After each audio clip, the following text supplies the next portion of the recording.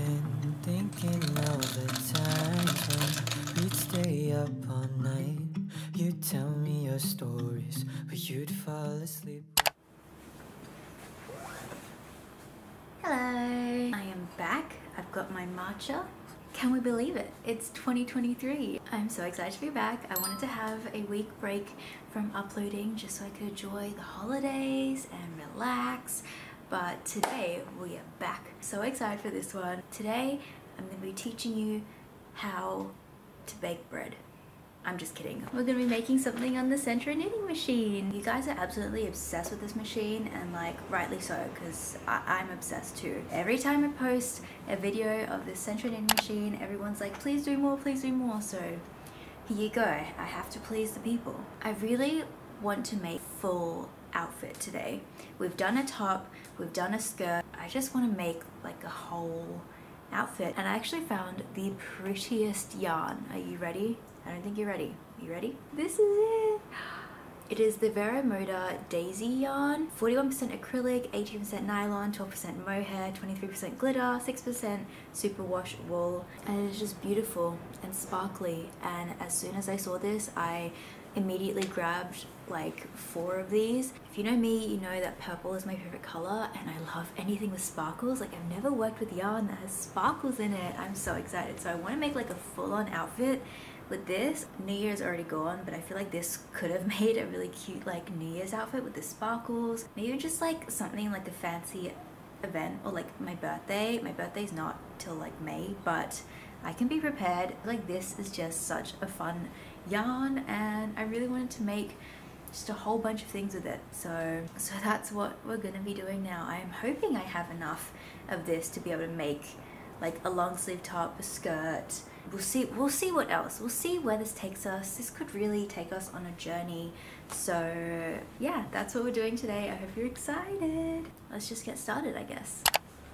As always of course we're using the knitting machine. Scissors measuring tape darning needle that comes with the machine my yarn bowl and a crochet hook okay i think we're to start out with making like a cardigan top kind of thing. I've not made a cardigan before, but someone commented on one of my last videos with this machine and I was like, that is genius. So we're gonna figure out today how to make a cardigan. I feel like the process of making a cardigan is you usually have like one big back panel and then two like smaller panels for like the sides and then you have sleeves obviously so I feel like we can definitely do this on this machine. I think for the back panel though because obviously you can only really make like a 48 pin like panel, I might make two 25, 30 pin panels and then sew it together to make a, like a bigger back panel because I want this to be kind of like oversized a little bit. I don't want it to be too tight. I want it to be a little bit loose on me and have that kind of look. So I think that's the plan. And then for the front, like two panels, we can make them like 25 pins or something like that. We'll see how this goes, but I think we'll start off with making the panels. So obviously, we set the machine to panel mode. So this isn't going to be so much of a tutorial because I don't really know what the heck I'm doing. We're just having fun here, playing around, just figuring stuff out as we go. If you want a proper tutorial on how to make top with this, I will have that linked in the cards for you. So you can go watch that. I want this to be quite like big and slouchy on me. So I'm gonna do maybe 35 pins, remembering that the first two pins kind of drop. So I guess we'll go to 37. This is all just a guessing game, honestly. I have no idea if this is gonna be too big or too small.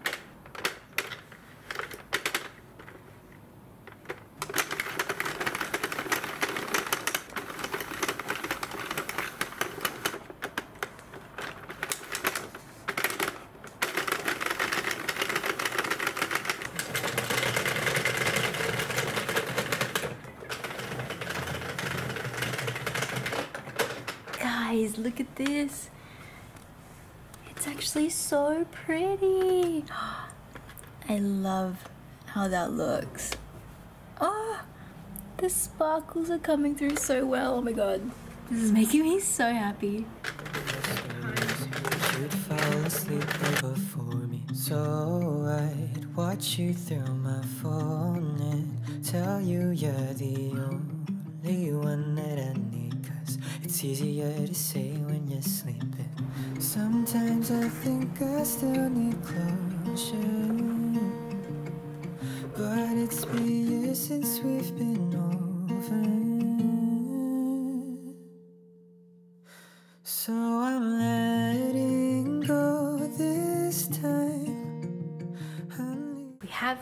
Updates. So, as you saw, I stitched the two back panels together to make like a long panel. And I feel like this is going to be a really good size. It might be a little bit too big, but I don't know. I feel like it'll, it'll work. We'll make it work. For anyone wondering, this is how you would make kind of like a bigger long sleeve top you would make like two of these and I guess like stitch them together but yeah so we've got the back panel all done and then I did start on the first front panel I have attached it to the back panel just because I wanted to see like the sizing and if it would work. I think it might work with like the idea that I want. That's what we've kind of got so far. I have made a little start here on the second front panel but right now it is 1:19 p.m. and I've not eaten anything except for my matcha so I'm gonna go get some food and then we actually have a fun little errand to run so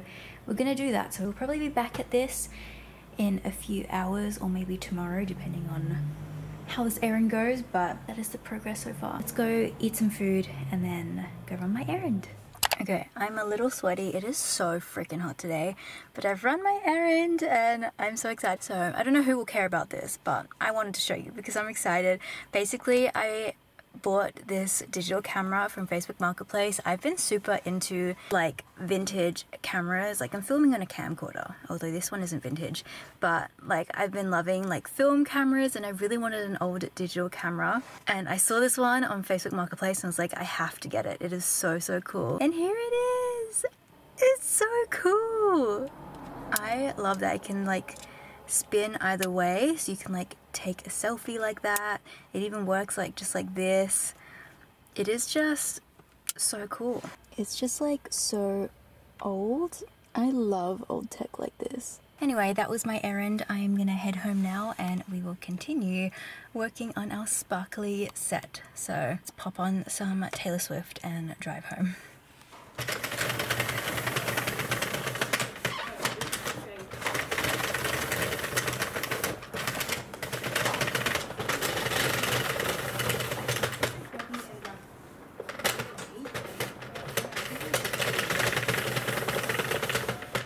Okay, we have two front panels. And it just looks like a funky scarf. I could just... That looks fun. anyway, I have finished the second front panel and I've attached it so you can you can kind of like see a cardigan starting to form so now the basic like foundation of the cardigan is done now what we need to do is sleeves and then I want to do little tie-up ribbons in the center. So for the ribbons, I'm going to crochet them. So we'll do that maybe as like the last step. So I guess all that's left to do on the machine for this piece is the sleeves. It's literally gonna go in the round and work up a tube. I want kind of like longer sleeves, so I'm gonna do maybe like 120 rows. I usually do like 110 rows, but just want a little bit longer. So I'm gonna do like 120 rows on the tube setting. So yeah, let's uh, let's get to that.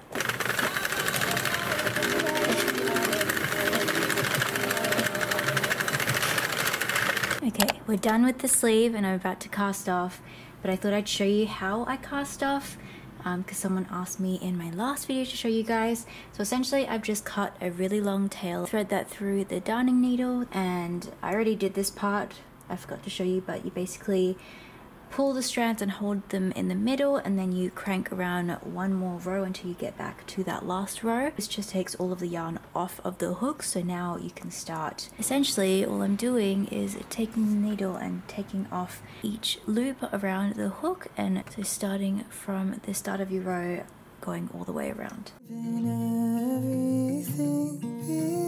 behind, but I'm gonna hold you close and tight. Okay, now the work is off the machine, pulling that yarn through. And then I like to just put the needle back through the stitch and just tie off a knot to make sure that that doesn't go anywhere. stretch out the knitting and we have a sleeve. We have two finished sleeves. Now we attach it to the cardigan and I'm just using the same method that I used in my last video. We're taking the crochet hook and just slip stitching the sleeves to the cardigan. Okay, so I show you how to properly do this in my how to knit a top video that'll be linked for you so you can watch that and see how I do this. It's just slip stitching at the sides together and then slip stitching at the sleeves as well. Just make sure you're turning your work inside out so that the right sides are facing inwards.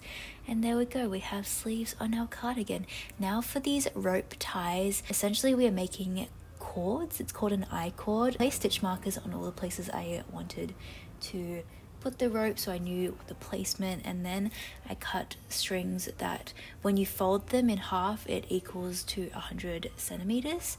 I'm also doubling the yarn because I wanted the cords to be a little bit thicker so I'm doing two strands of yarn at the same time. So now I'm just putting my hook into where I want the cord to go and pulling the strings through. And then as you can see working with two kind of strands, is the one on the left and the one on the right. So to do this I am just wrapping my hook around this string on the left, the first string there, so that I have two loops on my hook and then I'm pulling that right strand of yarn through the two loops I just made. So you're kind of doing a single crochet, looping my hook around the left yarn and then pulling the right yarn through the two loops I've just made.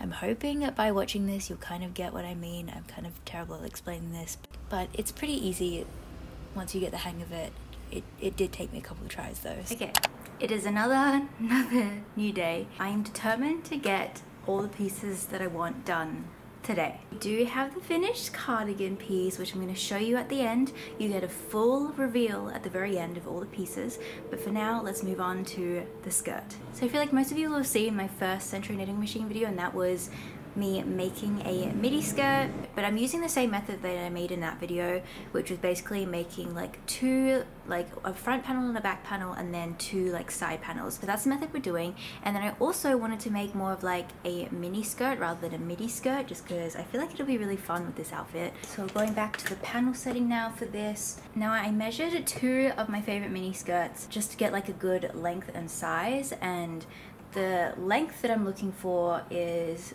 about 45 centimeters but we're gonna do a little bit longer because I do want to be able to fold the waist down and put elastic through. So we're gonna make 50 centimeter panels. And for this first initial panel we're gonna just cast on the whole machine. And then I think for the second panel we'll do like maybe 20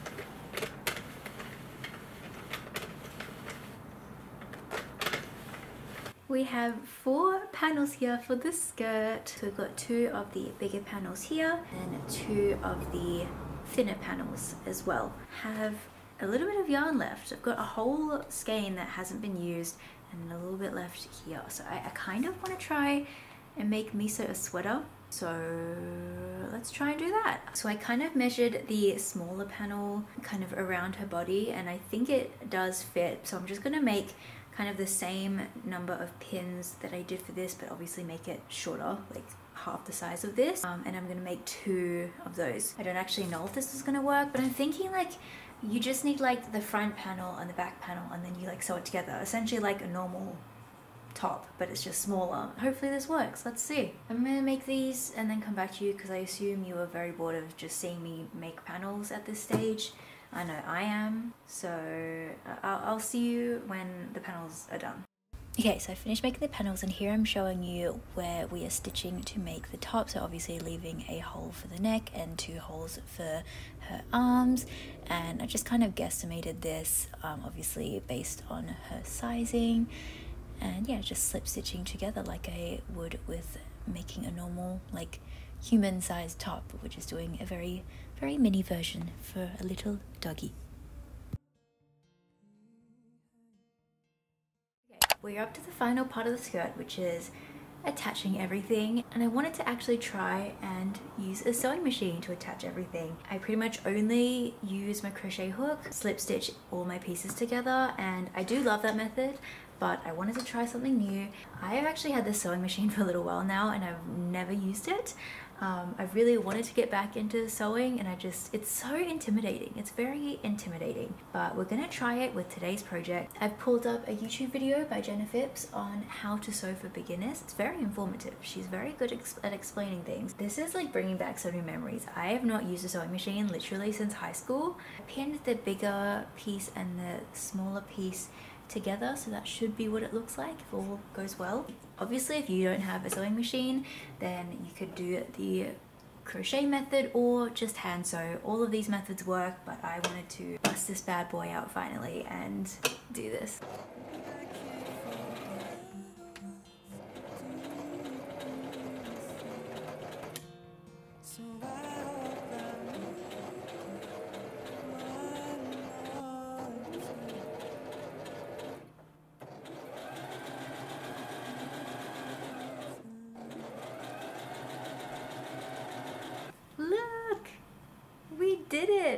gosh! Just went for a very simple straight stitch and you can barely see the thread in there, which is amazing.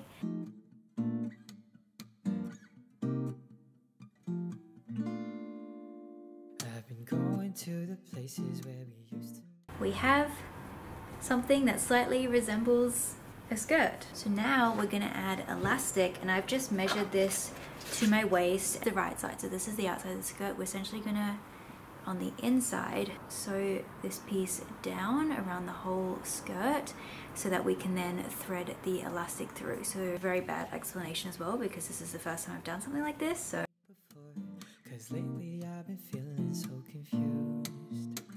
We've gone separate ways and never see your face to face. We have finished with the what do you call this? Do you call this hem? A hem or like I don't know just the part where the elastic will go through. It's not the best job in the world, but it'll do. So now I've got my elastic and I've got a safety pin on the end. Just going to use that to thread it through the little loop that we've now made. Right, the elastic is all the way through the skirt. Now we have to sew the elastic together with the machine and then we can close out the waistband and then we will be done. And before I do that, just make sure that the elastic isn't twisted anywhere in the skirt. It was. That would have been very bad if I did not check that. Now I'm like double checking. Okay, we're definitely good. We're definitely good. All right, I'm, I'm gonna sew this together now. Done. Pop that in there and then I'm going to sew this bit over.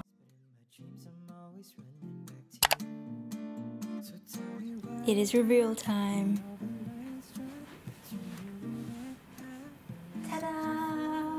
This turned out so much cuter than I thought. I was a little bit worried there, but like, I think we nailed it. I just love this yarn. Like, this yarn is so so stunning. It worked up so beautifully. I love the fit of the cardigan actually. It turned out like the perfect length. I thought when i'd made those panels i was a little bit worried because i thought i'd made them a little bit too long. It's the perfect amount of like oversized. I think i slightly didn't line up the bows as well, but if I didn't tell you that, you wouldn't have noticed, right?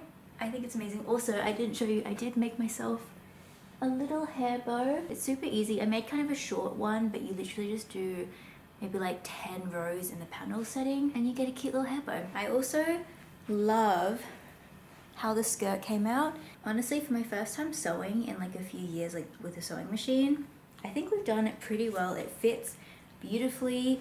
I tried to do a little bit of hemming because the edges of the skirt were really, really wonky and not very neat looking. So I did just go around the bottom and try to hem it a little bit. Is it perfect? No. Do I care? Not really. Is it still cute? Absolutely. I honestly think we nailed the brief here. This is my dream sparkly outfit. Honestly, I don't know what I'm doing for my birthday, but I'm gonna wear this. Like this is so fun. Oh, and also the best part. We have a matching outfit for Miso. Isn't this so cute? Little matching vest. This was the easiest thing to make up as well. Fits perfectly. It's a little crop top. We match Miso. She doesn't want to be here. All right, I'm sorry. I am so, so happy with this. I think this is just so much fun. I'm absolutely obsessed. So tell me why I'm tripping over lines between you and I. I feel like such a fool. In my mind, I've tried so many times to run away and